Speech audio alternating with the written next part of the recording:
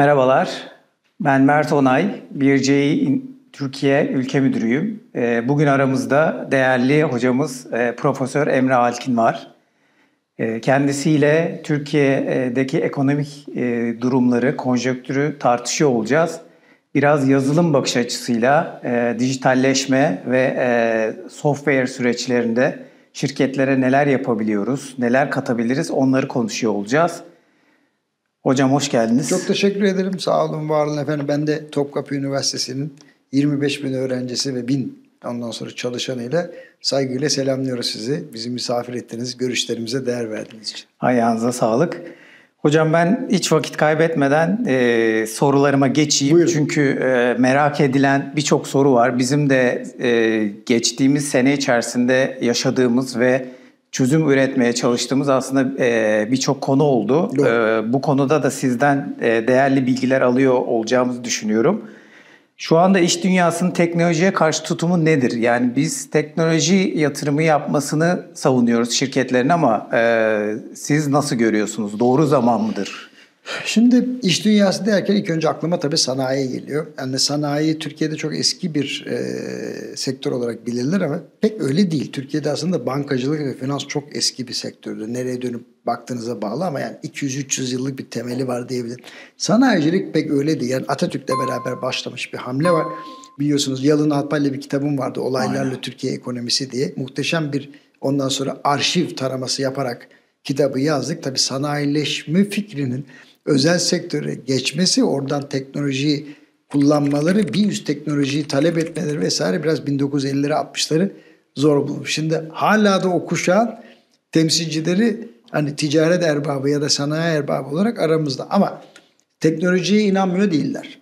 Fakat konu bir işletme sermayesi sorunu. O yüzden genellikle şöyle bakıyorlar. Yani bir sıkıntı olana kadar biz bu şekilde idare edelim diye. Aslında bu çok proaktif bir bakış açısı değil. Fakat yeni nesilden ben ümitliyim.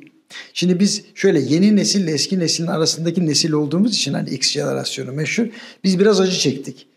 Gençleri bir şeyleri ikna etmeye, bizden büyükleri bir şey ikna etmeye uğraştık. Şimdi yeni gelen işte Y jenerasyonu dediğimiz onların bakış açısı farklı. Onlar dijitalleşme olmadan veya yüksek teknolojiyi kullanmadan insan kaynağının eğitimini de yanına yaklaştırmadan bir şey olamayacağına inanıyorlar. Ama vakit kaybettik. Onu size söyleyeyim. Yani Herkes için 1990 ve 2000 yılına kadar ki 10 yıllık süreç altın yıllardı.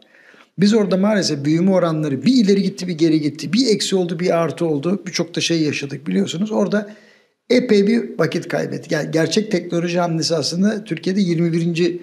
yüzyılda başladı desem kimseyi daraltmamış olurum diye düşünüyorum. Ama olumlu genellikle bakışı. Evet, e, peki e, işletmeler e, dijital çözümlere yatırım yapma konusunda e, istekli olmuyorlar. Yani e, bir para var, e, patrona sorduğunuzda nereye harcayalım diye en son e, IT'ye yatırım ya da IT'deki hmm. e, harcamaları yapma yönünde bir teamül var. Sizce bu yaklaşım doğru mu? Yani o parayı nasıl değerlendirmesi lazım yatırım yapmak isteyen şirket? Özellikle bu enflasyonist ortamda e, doğru stratejiler çok, ne olmalı? Bence çok güzel bir soru fakat iki açılımı var bunun. E, beni gerçekçi bir insan olarak tanıyorsunuz. Ondan sonra çok kızdırdığım insanlar da en azından bu özelliğimi kabul ediyor. Beni çok sevenler de bu özelliğimi kabul ediyor. Şimdi iş insanlarının aslında siyasetten, hükümetlerden bugüne kadar istedikleri aynen sizin bahsettiğiniz gibi dur ya sonra bir bakarız şimdi elimizdeki işi büyütelim tarzındaki taleplerdi. Mesela hiç şunu istemiyorlar. Hani 5G'yi hala isteyen yok. Hala %99.99 kesintizlikle çalışan işte redundancy diyoruz. Bir, bir internet ağını talep eden yok. Halbuki devlet kendi olanaklarıyla aslında bunu sağlamaya çalışıyor ama sanayiden henüz böyle bir talep yok. O diyor ki işte ben maliyet tutturmaya çalışıyorum da işte döviz kurları şöyleydi bak enflasyon belimi büktü vesaire de. Sırf bunlarla uğraştığı zaman kafasını tabii kaldıramıyor. Şimdi kafasını kaldırıp baktığında aslında görecek ki yanından vızır vızır geçen yabancı firmalar var. Kendisiyle aynı işi yapıyor. Daha etkin yapıyor, daha verimli yapıyor. Daha ekonomik ve daha hızlı yapıyor. Bakın hız Türkiye için çok önemli. Niye? Bizde proximity dediğimiz bir faktör var. Biz Türkiye'nin ürettiği malların yüzde elli biri yani ihracatımızın yüzde elli biri Avrupa'ya gidiyoruz. Yani dolayısıyla Avrupa bu arada Amerika Birleşik Devletleri de bizim ilk beş ihracat pazarımızdan bir tanesi. İngiltere yine ilk beşin içerisinde. Avrupa Birliği'nden çıktı ya o yüzden söylüyorum. Şimdi baktığınızda çok yüksek kalite ve yüksek hız isteyen oldukça zor bir pazara teknoloji olmadan rekabet edebilir misiniz? Mümkün mü böyle bir şey? Yani tabii bunun farkındalar. Fakat şunu diyorlar. Biz hata yaptık. Devletten başka şeyler istedik. Yanlış şeyler istedik. İthalat koruması istedik. Efendim rakiplerimizi boğun dedik. Rekabet istemedik vesaire yanlış yapmışız dediler. Şimdi yeni yeni ayrılıyorlar. O yüzden bakıyorsunuz Anadolu'nun neresine gidersem gideyim yüksek teknolojiye yatırım yapmak isteyen, geç kaldığını hissettiği için biraz da acele eden, rehberlik isteyen, rehberlik talep eden, rehberlik ihtiyacı olan birçok firma var. Bence tam zamanı. Yani çünkü yanlış yerlere, verimsiz yerlere para yatıracaklarına doğru bir ondan fizibilite ile iyi bir dijital yatırımla aslında firmalarını kurtarabilecek durumdalar. Ama dediğim gibi gün bugün. Yani yarına bırakmamak lazım. Aynen öyle. Bu arada çok konuşulan e, yabancıları Türkiye'ye yatırım yapmaya çekmek için. Doğru. Şimdi bizim şirketlerimizin genel bakış açısı belli bir noktaya geldiğinizde bahsettiğiniz gibi babadan oğula geçen bir e, süreç var. Yeni nesil daha teknolojiye yatkın ve teknoloji yatırım yapmayı Doğru. düşünüyor. E, fakat yabancı şirketler Türkiye'ye gelmek de biraz ayak diriyorlar. Yani hmm o noktada da aslında e, şirketin finansal şeffaflığı, dijitalleşmesi ya da e, IT'ye yaptığı yatırımlar e, daha ön planda olması Tabii. gerekmiyor mu? Tabii.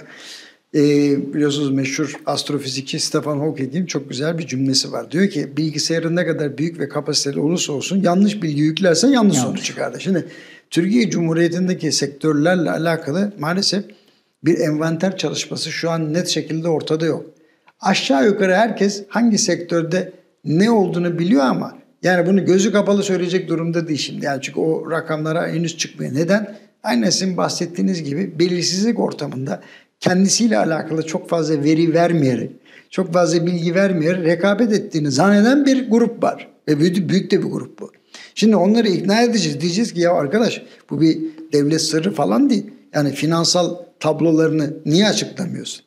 Hani çalışan sayısını niye açıklamıyorsun? Makine sayısını niye açıklamıyorsun? Kaç tane fabrikan var? Niye söylemiyorsun? Sadece herkes işte benim İstanbul'da merkezim var şöyle şöyle şu kadar ihracat yapıyorum diye.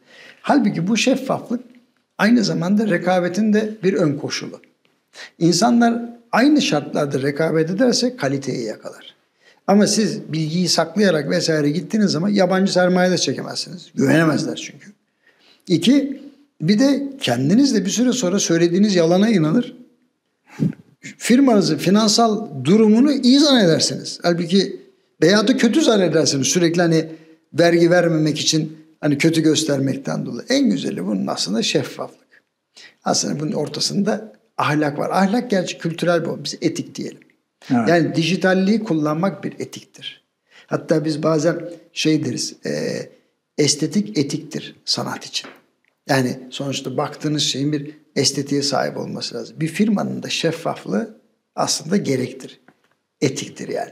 Böylece kapıda çalışan güvenlikçiden içerideki mühendise kadar herkes aslında şeyi bilecek. Firmanın tam olarak ne olduğunu, müşteri sayısını, kaç metrekarede faaliyet yaptığını, cirosunu, karlılığını vesaire. Şimdi bunları bilmeden sabah işe girip akşam eve döndüğünüzde aslında siz yani kaçınılmaz sona doğru sanki böyle geri sayım yapan değil mi? Böyle bir kitle halinde dönüşüyorsunuz. Ben bundan pek hoşlanmıyorum.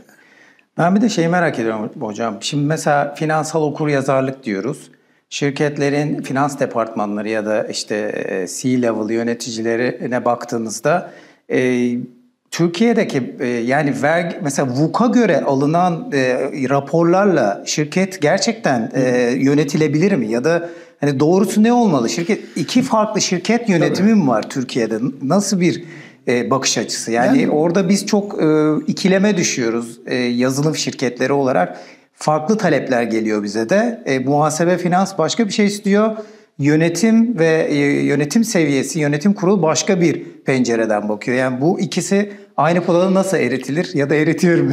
yani şöyle çok eleştirdiğim maliyeci ekibe yani devletteki maliyecilerin yanında hakkını vermek zorundayım. Yani öyle ya da böyle vergi usul kanununda finansal tabloların oluşturulma işi aslında bir şirketi şeffaf bir şekilde görebilmenize yetiyor. Çünkü aynı tabloları bir de halka arz esnasında mecburen değil mi sermaye piyasası kuruluna falan vermek zorundasınız. Ya onu ayrı onu ayrı veremezsiniz. Ya demek ki yani bayağı hani vergi usul kanununa göre hazırlanmış bir finansal tablo tamam. aslanlar gibi yani normalde değil mi şeyi gösteriyor olması lazım şirketin durumunu gösteriyor olması lazım. Ama bizim gibi ülkelerde muazzam bir kamu harcaması olduğundan dolayı kamu diyor ki ya ben kimden vergi alayım acaba diye. Bu sefer e, şöyle diyeyim size tabirimi caiz görün ne olur. Yani kafesteki kazı yolmak üzere sürekli. Diyor ki ben yeni kaz bulmama gerek yok. Ben yine diyor yine onu yine onu derken tabii firmalarda yine vergi usul kanunu içerisinde kaçamak yerler arıyor. O yüzden siz bilançoya baktığınızda tam emin olamıyorsunuz. Ya gerçekten hani bu doğruluğu yansıtıyor mu? Ben söyleyeyim doğruyu yansıtıyor. Çok net olarak. Yani vergi usul kanununa göre hazırlanmış mali tablolar doğruyu yansıtıyor. Bu iyi bir şey. Fakat bu sadece halka açık firmalar için yani borsada işlem gören firmalar için bu şeffaflık mümkün. Yani Türkiye Cumhuriyeti'nin bütün firmalara halka açık değil. değil. Dünyadaki firmalar da halka, halka açık olmadığı gibi birçok firma diyor ki ben halka açık olmak istemiyorum zaten. Ben niye şeffaf olmak zorundayım kardeşim diye soruyor. Bunlar iyi şeyler değil. İyi bir yatırımcı bulmak, dijital kapasitenizi doğru tariflemek, altyapınızı doğru oturtmak, insan kaynağını doğru yönetmek için bu şeffaflığa ihtiyacınız var. Bunu ancak ve ancak dijitallikle sağlayabilirsiniz. Yani yine bir hiyerarşi oluşturursunuz ama şirketin her düzeyi bir düğmeye bastığında bir kokpitten firmanın risklerini ve cesametini yani o büyüklüğünü vesairesini neye kime hizmet ettiğini, müşteri adedini, nerelere mal sattığını vesaire görebilir. Niye görmesin? Yani ne kadar fazla bilgi sahibi olursa firmanın her düzeyindeki kişiler o kadar firmaya faydası olur. Yani firma sadece piyasayı duymaz. Firma ancak içeriği de duymalı. Yani içeriği duymayan bir firma zaten yola devam edemez. O açıdan ben olumlu olarak bakıyorum. Yani bu finansal tabloların dijitalleşmesi ve yönet çeşitli düzeydeki yöneticilere ve çalışanlara bunların bir kısmının şeffaf bir şekilde açıklanarak biraz daha hani aydınlık geleceğe doğru e, biraz daha güzel bakmayı, biraz daha iyi bakmayı sağlayacak işleri hep destekliyorum. Süper. Biz bir CI olarak son bir buçuk yılda aslında e, iki yeni ürünü daha Türkiye pazarına sunduk. Bir tanesi de bir C Perform ürünü.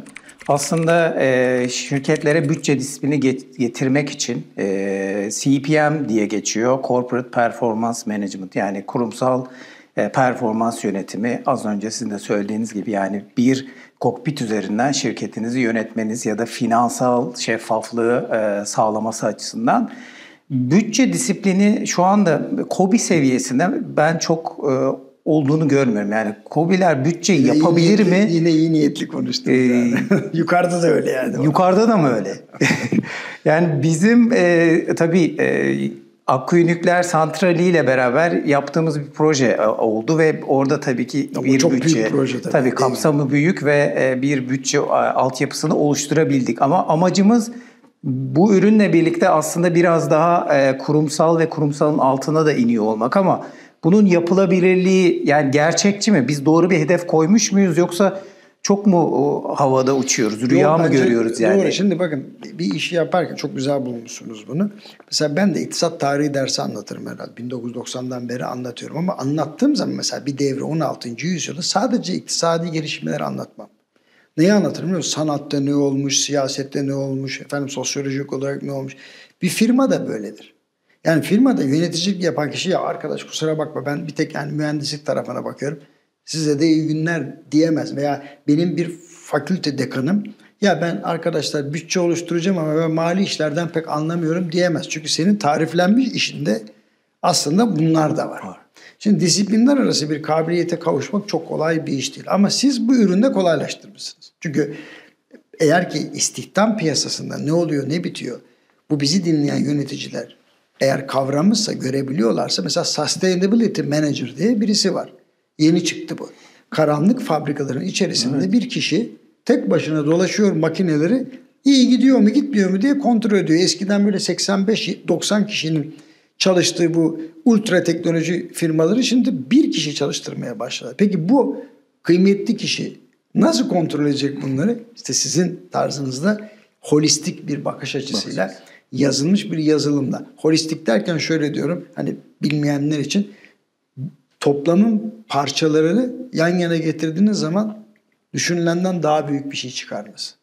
Yani bu çok önemli. Kişilere kabiliyet kazandırıyorsun. Mesela diyebilir ki ben bir mali tablo okumayı bilmiyorum. Ama mali tablonun sonuçlarından ben sorumluyum. O yüzden bir mühendis olarak ya da bir birim yöneticisi olarak benim yaptığım faaliyetin mali sonuçlarını da veya operasyonel sonuçlarını da aynı anda görmek istiyorum. Buna hakkı var. Bu aynı zamanda geleceğe doğru da üst düzey yönetici yetiştiriyor tabii onu söyleyeyim. Yani sadece firmalar CFO'yu biz CEO yapıyoruz tarzında çalışmıyor da ona bakarsanız baş mühendis de bir gün CEO olabiliyor. CEO. Özellikle uzay ve havacılıkta bunu çok yaşıyor. Evet. İşte sizin bahsettiğiniz gibi büyük santraller vesaire burada çok yaşıyoruz. Yani bir mühendisin CEO'luğa kadar yükseldiğini ama yani mali tablonun risklerini takip edemeyen birisinin hani kolay kolay hani CEO olmayacağını da söyleyelim yani. Aynen öyle. Hazır tabii üniversiteden bahsetmişken insan kaynağı konusunda da biz e, son iki yıldır üniversitelerle işbirliği yapıyoruz. Sizin üniversitenizde de bu yaz yine bir işbirliği yaptık. E, üniversitedeki yani öğrencilerin ya da IT uzmanı e, yetiştirme kısmında Türkiye'yi nasıl görüyorsunuz? Ben çok eksik olduğunu düşünüyorum ama... Siz... Vallahi şaşırtacağım sizi. Muhteşem bir potansiyel var. Sadece Türk öğrenciler olarak değil. Mesela bizim üniversitemiz 25 bine yakın öğrencisi var ama bunun 7 bine yakın da yabancı. Ve yabancı öğrencilerin çok büyük bir kısmı tamamen mühendislik ve yazılım alanlarını tercih ediyor biliyor musunuz? Çok ilginç bir şey. Ve baktığımız zaman mesela Türkiye Cumhuriyeti'nde e, mobil bankacılık kullanma oranı %83. Hemen arkamızdan kim geliyor? Dünya ikincisi. Nijerya. Nijerya. Hiç aklınıza gelir mi? Neden? Çünkü Nijerya'nın nüfusu 2050 yılında dünyanın üçüncü büyük nüfusu olacak. 758 milyon galiba. Şimdi öyle baktığınızda e buna banka şubesi yetmez. Sigorta şirketi yetmez. Çok affedersiniz. Dolayısıyla e, gelişmekte olan ülkelerin önemli bir kısmında muazzam bir yazılım, muazzam bir dijital ve muazzam bir teknoloji potansiyeli var. Özellikle gençlerde. Mesela ekonomistlik diyorum ya hoca bırak falan diyorlar.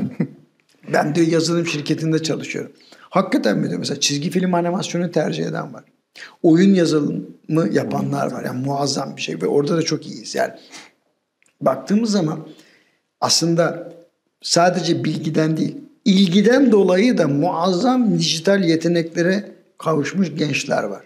Eflatun'un sözünü unutmayın dehanın nereden çıkacağı belli olmaz. Belli olmaz. Şimdi dolayısıyla biz üniversitemizde ve diğer üniversitelerde de onların da hakkını verip herkese eşit olanağı veriyoruz ve muazzam insanlar çıkıveriyor karşımıza. Zaten o deha dediğimiz çocukta işte onda bir tane veya ellide bir tane falan çıkıyor ama potansiyel var. Yani içiniz rahat olsun.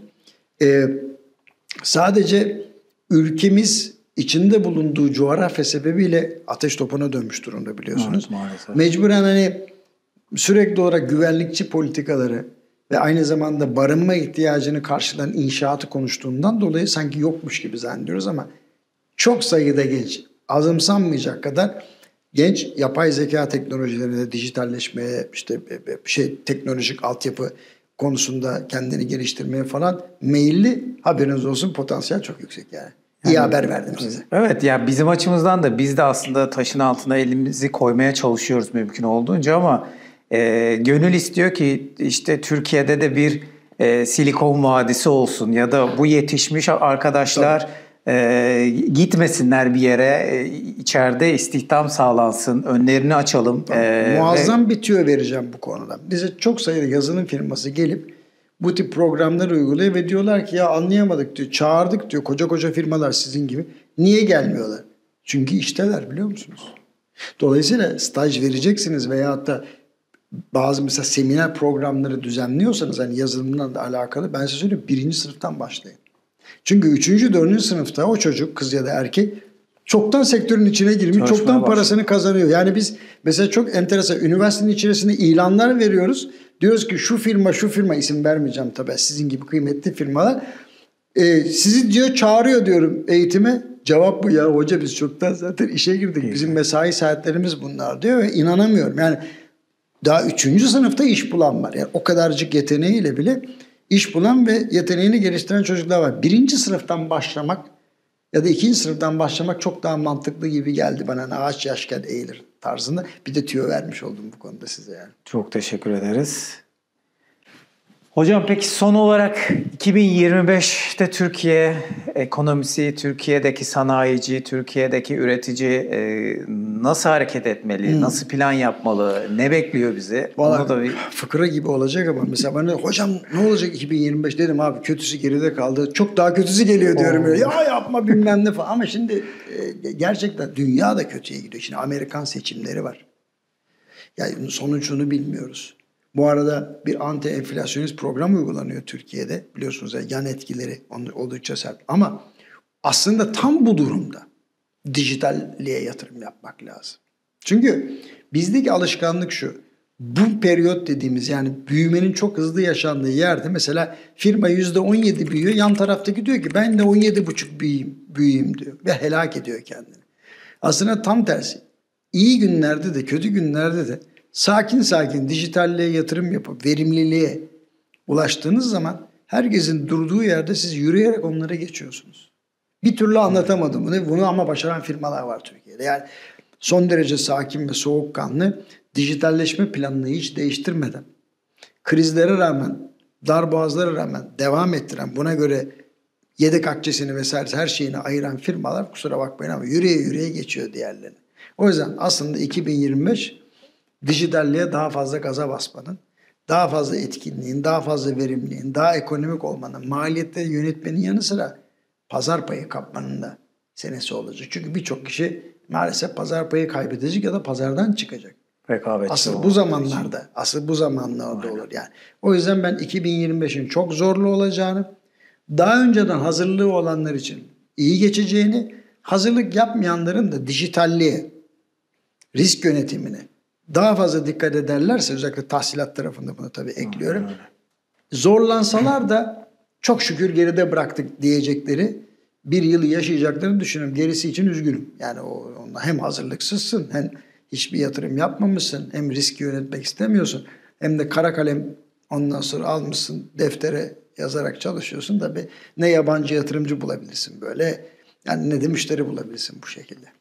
Enflasyonu ama düş, düşüreceğiz diyorlar yani düşecek e, diye bir öngörü var. Ben size tüyo vereyim orada, orada da tüyo. bir büyüme e, çıkar mı oradan? Valla yüzde beş. Yüzde on yedi buçuk e, enflasyon olmaz. Olmaz. Olmayacak.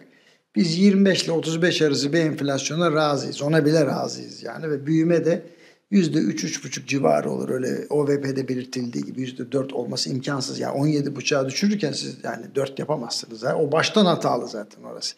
O da keşke sizin yazılımları kullansalardı zaten hani sonuç farklı çıkardı büyük ihtimalle. Ama biz yüzde yirmi beşlik bir e, minimum resmi resmi enflasyona razı olup yüzde üç üç buçuk arası büyümeyle 2025'i kapatırız gibi geliyor. Onun gayri resmisi yüzde elli gibi mi düşüyor? Gibi ya hayat pahalı, hayat pahalı yüzde elli. yansıyan kısmı. o yüzde elli olacak yani hayat pahalı. Çok iyi yakaladınız. Tamamdır hocam. Çok değerli bilgileri aldık e, Sayın Hocam'dan. E, Ayağınıza sağlık. Çok, çok teşekkür, teşekkür ederim. ederiz. Sağ olun. Benim için büyük çok keyif, keyif oldu. Aynen öyle. Bizim için de çok keyifliydi. Ee, biz tabii e, bu seriyi e, sizin gibi değerli hocalarla devam ettirmek isteriz. Üniversitenizle işbirliğini de devam ettirme e, niyetindeyiz Amadeyiz. önümüzdeki yıllarda. Sağ olun. Tekrar teşekkür ederim ben. E, ayağınıza sağlık. Ben de. İyi Tekrar görüşemezsek herkese iyi yıllar ama içimde bir ses var sanki yeni yıldan önce bir kere daha buluşabiliriz gibi. Bu, inşallah buluşuruz çünkü e, bizim açıkçası e, doğru yönlendirmeye daha doğrusu e, endüstrinin, sanayicinin ya, ya da bizim muhatap olduğumuz e, firma yetkililerinin e, sizin değerli bilgilerinizi, e, tecrübelerinizi alıp e, doğru yatırımlar yapması, doğru büyüme, doğru e, rekabetçi ortamları kendi şirketlerinde oluşturması için ben çok faydalı olduğunu düşünüyorum çok bu tip şeylerin. Ben son dönemlerde çok fazla başarı hikayesiyle birlikte başarısızlık hikayelerini de takip ediyorum hocam. Çok ilginç. Yani belli e, şirketlerin Türkiye'de neden battığını ya da belli markaların neden artık hayatımızda olmadığını eskiden şu vardı yani benim çocukluğumda ben 46 yaşındayım e, şirketin logosunu yazarlardı altında da işte 1917'den beri veya since e, 1900 27 filan gibi yani böyle uzun soluklu şirketler vardı. Ama şimdi onları da görememeye başladık. doğru doğru. Biz böyle sabun köpeği gibi çıkıyorlar. Bir kısmı e, şey yapıyor, hayatta kalıyor ama bir kısmı da e, gerçekten artık piyasada yok.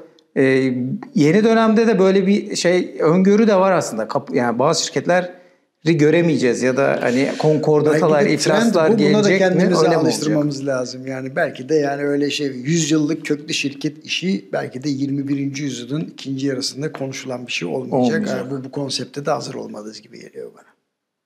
Teşekkür ederim. Sağ olun, Son sağ bir araya bir soru daha sıkıştırdım Sağ ama olun, sağ ne olun. kadar faydalanabilirsek bizim için e, avantajdır deyip İnşallah tekrar görüşürüz. İnşallah. Ayağınıza sağlık. Çok teşekkürler. Teşekkür ediyoruz. Bu bölümde e, Sayın Emre Alkin Hocam'la e, ekonomi, iktisat, e, büyüme, e, rekabetçi ortam ve finansla ilgili ve finansın teknoloji etkisini, teknoloji yatırımlarının e, finans şirketlerin finansal süreçlerine ne kadar fayda sağlayacağı ile ilgili e, bir, kısa bir sohbet yaptık. Umarım bundan sonraki süreçte de yine e, üniversite işbirliktelikleri ve e, mevcut ülkemizdeki finansal süreçlerin değerlendirmesiyle ilgili e, kendisiyle bir araya gelme şansımız olacaktır. Hepinize teşekkür ederim.